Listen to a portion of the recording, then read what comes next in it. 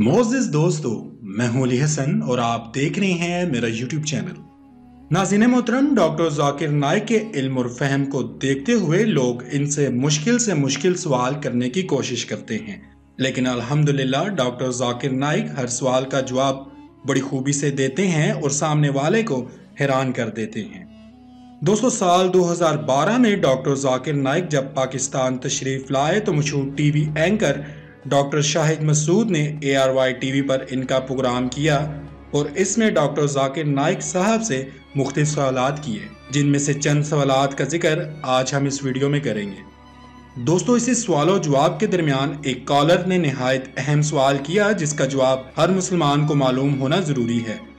Live collar ने सवाल किया कि जैसा कि हम सब जानते हैं कि हज़रत मोहम्मद सल्लल्लाहु अलैहि को 40 साल की उम्र में नबूत के मनसब पर फायज किया गया, जिसके बाद जिसके बाद आप ने दावत तबलीग का काम किया। अब मेरा ये सवाल है कि आप सल्लल्लाहु अलैहि वसल्लम 40 साल की उम्र को पहुँचने तक किस मज़हब के पैरोकार थे? क्योंकि इस्लाम तो इस वक्त नहीं था, लेकिन यहूदियत और ईसाइत मज़हब मौजूद थे तो आप क्या थे? दोस्तों, इस सवाल ने शायद मसूद को भी चौंका दिया, जिसके तासुरात इनके चेहरे से वाजिया हो रहे थे, लेकिन डॉक्टर जाकिर नाइक साहब के लिए यह सवाल नया नहीं था। डॉक्टर जाकिर नाइक ने बताते हुए कहा कि वो पहले भी इस सवाल से दो चार हो चुके हैं और कई लोगों ने इनसे ये सवाल किया है। डॉक्टर जाकिर नाइक ने जवाब देते हुए कहा कि इस चीज़ का कोई सबूत मौजूद नहीं कि नबूत हासिल होने से पहले हज़रत मोहम्मद सल्लल्लाहु अलैहि वसल्लम यहूदियत या ईसाइत पर अमल करते थे।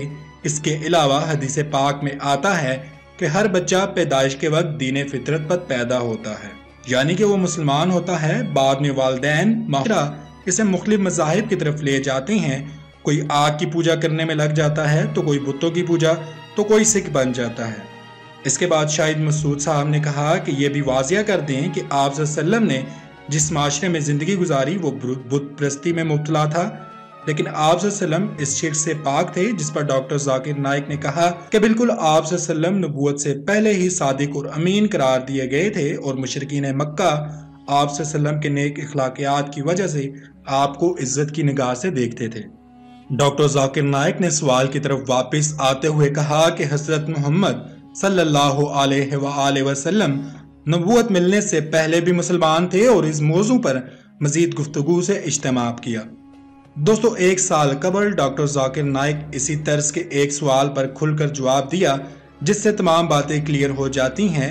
सवाल ये था कि हज़रत मोहम्मद वसल्लम से पहले के अमराम का मज़हब क्या था और ईसा इस्लाम किस मज़हब पर अमल पैरा थे? डॉक्टर जाकिर नाइक ने इस सवाल के जवाब में कहा कि हज़रत ईसा का दीन इस्लाम था लफ्ज़ ईसाइत तो बाइबल में मौजूद ही नहीं, कुरान की मजीद की। सूरत आल इमरान में अल्लाह ताला फरमाता है कि हज़रत इब्राहिम इस्लाम यहूदी नहीं थे ना ही नसरानी थे, बल्कि वो तो सच्चे मुसलमान थे। इसी तरह कुरान मजीद में ईसा इस्लाम को भी मुसलमान कहा गया है। इसके बाद डॉक्टर साहब ने मजीद वजाहत करते हुए कहा कि एक गलत फहमी, जिसका हर मुस्लिम और गैर मुस्लिम शिकार है, वो ये है कि हज़रत मोहम्मद सल्लल्लाहु अलैहि वसल्लम ने दीन इस्लाम की बुनियाद रखी। ये बात दुरुस्त नहीं। दीन इस्लाम तो उसी दिन बन गया था जिस दिन ये दुनिया बनी थी। आप ने आकर दीन को मुकम्मल किया और आखिरी खुतबा में इस चीज़ को बताया। हज़रत मोहम्मद सल्लल्लाहु अलैहि वसल्लम या इनसे पहले के अम्बिया का मज़हब पूछना नहायत बेमकसद सवाल है, क्योंकि जब इंसान पैदा होता है तो वो मुसलमान होता है। मुसलमान होता है। दोस्तों, अक्सर गैर मुस्लिम और मुलहद ऐसी बातों को फैलाकर मुसलमानों को वसवसे दिलाते हैं, ताकि कमज़ोर अकीद मुसलमान सवाल का जवाब ना पाकर इस्लाम से बेजार हो जाएँ और दीन इस्लाम छोड़ दें। जैसा कि एक सवाल एक ईसाई औरत ने किया कि हज़रत मोहम्मद सल्लल्लाहु अलैहि वसल्लम को जहर दिया गया था। अगर इन्हें वही के ज़रिए मालूम दी जाती थी तो इन्हें क्यों मालूम ना हो सका? डॉक्टर जाकिर नायक का इस सवाल पर तबसरा मौजूद है। आप हमारे चैनल पर इस वीडियो को देख सकते हैं।